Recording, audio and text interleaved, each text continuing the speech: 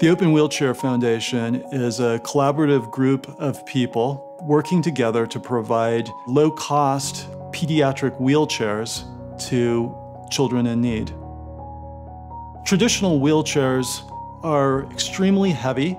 Typical family would need a van with a crane. You can't move them upstairs and downstairs, so if your house has, has stairs, you have to move. And they're extremely expensive. We wanted to develop a wheelchair that addressed these problems. Our wheelchair is low cost, costs under $400. A family can build it. It's sizable to the child, and it weighs under 25 pounds.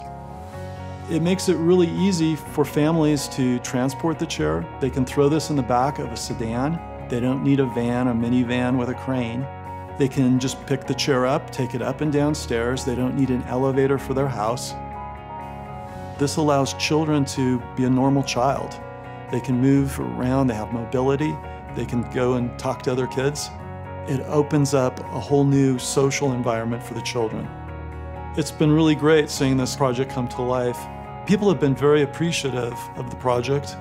We get a lot of thank yous, and people are very grateful for having something like this. My hopes for the future is just that anyone who needs a wheelchair can have one.